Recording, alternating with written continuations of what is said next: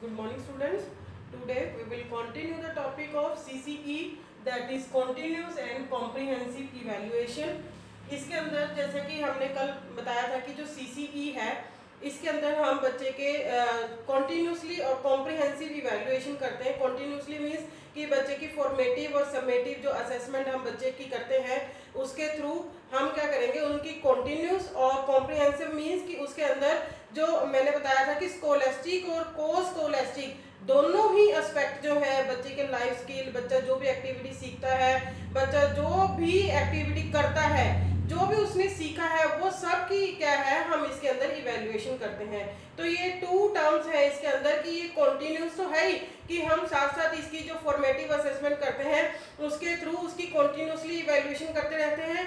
Comprehensive इस term में है कि इसके अंदर बच्चे की हर एक एक्टिविटी जो है, हम इसके अंदर, उसके अंदर नोट डाउन करके उसकी जो है और इवेल्युएशन करते हैं। अब नेक्स्ट इसके अंदर क्या है? इम्पोर्टेंस क्या है सीसीई ई की? कि जो सीसीई ई है, वो इतनी इम्पोर्टेंट क्यों है? अब देखिए फर्स्टली क्या है? To get aware of teaching learning process means कि अगर हम टीचिंग लर्निंग प्रोसेस के बारे में जानना चाहते हैं तो हमें क्या करना पड़ेगा? सीसीई e को अपनाना पड़ेगा। सीसीई को अपने स्कूल के अंदर मतलब बच्चों के ऊपर हमें क्या है?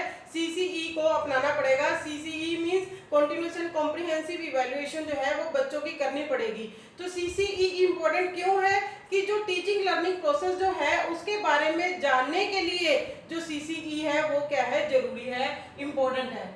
To know students strength and weaknesses बच्चे की जो, उसकी स्ट्रेंथ है और उनकी वीकनेसेस है, उनको जानने के लिए भी सीसीई e क्या है, बहुत ज़्यादा इम्पोर्टेंट है, जिससे कि हम बच्चे की जो स्ट्रेंथ और वीकनेसेस है, लगातार फॉर्मेटिव और समेटिव असेसमेंट के थ्रू हम बच्चों की स्ट्रेंथ और वीकनेसेस के बारे में जानते रहेंगे और टीचर जो है, इस चीज़ से क्या होगा अवेयर होता रहेगा, बच्चों की स्ट्रेंथ और वीकनेसेस के बारे में उसे पता चलता रहेगा और वो इस चीज़ को क्या करेगा नेक्स्ट फिर इस चीज़ को डायग्नोज कर सकता है diagnose to diagnose learners defects means बच्चे के जो डिफेक्ट्स है, उनको डायग्नोज करके फिर उनका क्या है?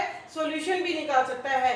अगर बच्चे की हमने सीसीई मींस ये कॉन्टिन्यूस एंड कॉम्प्रिहेंसिव इवेल्युएशन करी तो उसके दौरान बच्चे के जो भी डिफेक्ट होंगे, वो सब टीचर्स को पता चल जाएँगे डायग्नोज करेगा और बाद में उनका क्या करेगा? निदान करेगा। मीन्स कुछ ना कुछ जो सॉल्यूशन है, वो उसका निकालेगा। नेक्स्ट है to help students identify problem areas बच्चे के जो प्रॉब्लमेटिक एरियाज़ होते हैं, जैसे कि मान लीजिए बच्चे की एक सब्जेक्ट के अंदर तो हम मान लेते हैं उसकी वीकनेसेस हमें पता चल गई। बट प्रॉब्लम एरियाज़ का मीनिंग क्या है कि मान लो एक बच्चे को सब्जेक्ट के अंदर पूरा पूरा सब्जेक्ट के अंदर उसको कंफ्यूजन है, या एरिया कोई सब्जेक्ट की बात अकेले सब्जेक्ट की बात नहीं है, किसी और अनदर एक्टिविटीज़ के बारे में भी हो सकता है अनदर एरिया भी हो सकता है कोस्कोलेस्टिक एरिया भी हो सकता है, उस चीज़ के बारे में भी अगर बच्चे को कोई एक्स्ट्रा प्रॉब्लम है अनदर प्रॉब्लम कि वो इस चीज़ को कंटिन्यू नहीं कर सकता। उस चीज़ को भी वो क्या है कि वो टीचर सीसीई के थ्रू क्या करेगा?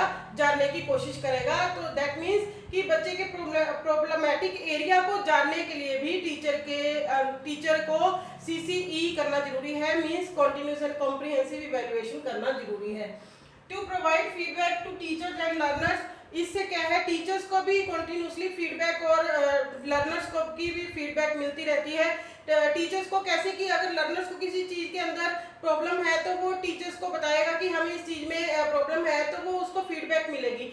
नेक्स्ट लर्नर्स को कैसे मिलेगी कि जब लर्नर कोई गलती करेगा तो टीचर्स जो है उनको बताएँगे कि आपकी इस चीज़ में गलती है, आप इस चीज़ के आप इस चीज़ को और इम्प्रूव कर सकते हैं। तो इस कि बच्चे को भी और टीचर्स को भी, दोनों को क्या है फीडबैक मिलती रहती है सीसीई के अंदर।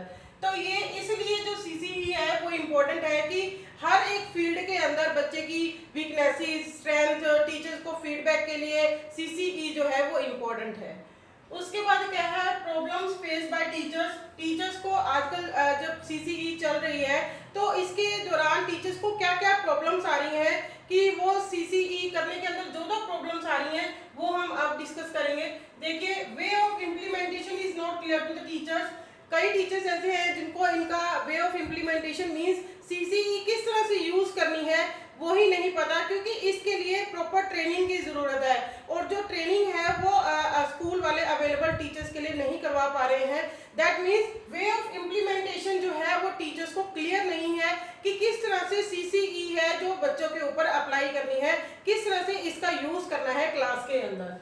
इट टेक्स मोर टाइम क्यों? इसके अंदर क्या है कि ये टाइम बहुत ज़्यादा लेती है टाइम कंज्यूमिंग है ये, क्योंकि इसके अंदर बच्चे की हमें हर एक एक्टिविटी को है नोट करना पड़ता है, जिससे कि टीचर्स के पास सफिशिएंट टाइम नहीं है बिकॉज़ उनके पास अपने लेक्चर्स हैं, अपने ही जो पीरियड्स हैं वो लगे होते हैं तो इसके लिए एक्स्ट्रा टाइम की ज़रूरत पड़ती है जो उन लोगों के पास नहीं है।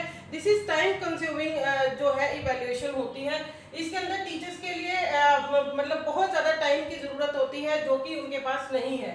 लैक ऑफ़ पेरेंट सपोर्ट कई टीचर्स कई पेरेंट्स जो है, वो इस चीज़ को सपोर्ट नहीं करते हैं, क्योंकि कई पेरेंट्स कहते हैं कि जैसे मान लीजिए हमने बच्चे को सीसीई e के अंडर कोई एक्टिविटी करने के लिए दी या प्रोजेक्ट करने के लिए दिया तो वो समझते हैं कि ये ये जो है, वो टाइम वेस्टेज है। वो पुराने ही जो पीछे से चले आ रहे पुराने मेथड्स हैं सिंपल सिर्फ़ पढ़ना और एग्ज़ाम देना, उन्हीं को फॉलो करना चाहते हैं। कई अभी भी इस चीज़ के अंदर स्टीरियो है। तो वो कहते हैं कि ये जो है मतलब सीसीई e के अंदर जो एक्टिविटी है प्रोजेक्ट्स हैं, जो हम बच्चों को देते हैं, ये wastage of time and money है, वो सपोर्ट नहीं करते हैं बच्चों को। लार्ज क्लास स्ट्रेंथ है कि क्लास के अंदर काफ़ी ज़्यादा बच्चे हो जाते हैं तो हर एक बच्चे के ऊपर अलग अलग ध्यान देना एक टीचर के लिए बहुत ज़्यादा मुश्किल हो जाता है। सीसीई e के अंदर हमें हर एक बच्चे के ऊपर डिफरेंट डिफरेंट जो है वो अटेंशन देनी पड़ती है। हर एक बच्चे की स्ट्रेंथ और वीकनेस को जानना पड़ता है तो जिससे कि टीचर के लिए बहुत ज़्यादा मुश्किल खड़ी हो जाती है। तो एक लार्ज अगर क्लास स्ट्रेंथ होगी तो टीचर के लिए सीसीई को अपनाना बहुत ज़्यादा मुश्किल है। डाइवर्सिटी ऑफ़ लर्नर्स मीन्स जो हर एक लर्नर है, अपने आप में इंडिविजुअल जो है, उसकी इंडिविजुअल कोई ना कोई प्रॉपर्टी होती है। तो डाइवर्सिटी होती है बच्चों के अंदर, विभिन्नताएँ पाई जाती हैं। तो वो जो डाइवर्सिटी होती है लर्नर्स की, उसके कारण भी टीचर्स को बड़ी दिक्कत आती है कि हर एक जैसे बच्चे की अलग अलग विशेषता को जानना एक टीचर के लिए बहुत ज़्यादा मुश्किल है। ये टीचर्स के लिए बहुत बड़ी प्रॉब्लम है सीसीई के अंदर। एक्स्ट्रा बर्डन है टीचर्स के ऊपर इस चीज़ का, क्योंकि इसके अंदर क्या है, हमें बच्चों को एक्स्ट्रा एक्टिविटीज़ करवानी पड़ती हैं एक्स्ट्रा प्रोजेक्ट देने पड़ते हैं असाइनमेंट्स देने पड़ते हैं। होमवर्क के अलावा क्लास वर्क के अलावा हमें इन चीज़ों को भी चेक करना पड़ता है टीचर्स को इन चीज़ों को भी चेक करना पड़ता है, जिससे कि उनके ऊपर एक्स्ट्रा बर्डन हो जाता है, फिर वो इस चीज़ को कंटिन्यू नहीं कर पाते हैं। नेक्स्ट है financial constraints it may not suit the pocket of every child जो फाइनेंशियल कंस्टेंट्स है मतलब जो पेरेंट्स हैं कई जो होते हैं कि वो पुअर होते हैं, थोड़ा गरीब होते हैं तो वो फाइनेंशियली इस चीज़ को सपोर्ट नहीं कर पाते हैं। मान लीजिए टीचर ने कुछ भी बच्चे को प्रोजेक्ट दिया है, कोई असाइनमेंट दिया है, कोई एक्टिविटी दी है तो वो अगर बच्चा जो उसकी पॉकेट अगर ये सूट नहीं करेगा it may not suit the pocket of every child हर एक बच्चा इस चीज़ को मतलब जो है वो अवेल नहीं करवा सकता मनी जो है मैटर करती है। तो फाइनेंशियल कंस्टेंट्स भी होते हैं जो कि चाइल्ड इस चीज़ को पूरा नहीं कर पाता तो टीचर के लिए ये नेक्स्ट जो है वो प्रॉब्लम खड़ी हो जाती है।